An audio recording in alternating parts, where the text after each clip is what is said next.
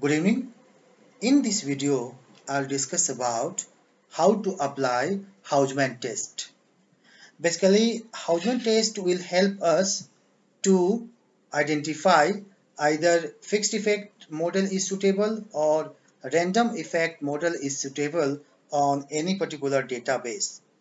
So for that, I go to model, select this panel and then click on fixed or random effects.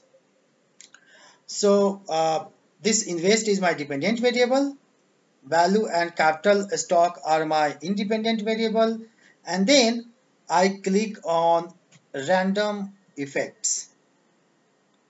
After that I simply click on OK then I get result of random effect.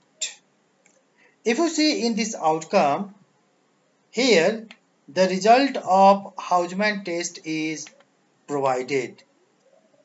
So let me talk about this result. The null hypothesis of Hausman test is GLS estimates are consistent or we can say random effect model is consistent. But if you see the p-value p-value is 0.33 which says that null hypothesis is not rejected.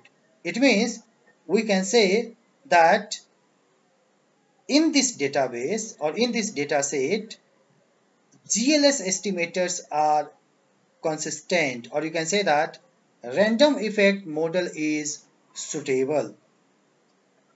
So that is all about random effect model. Now, the coefficient of random effect will be considered in equation either in my thesis or my research paper. Like here, the this is our coefficient of value and this is our coefficient of capital stocks. So this coefficient will be used in final equation of panel data regression. I hope you like it. This video, thank you very much.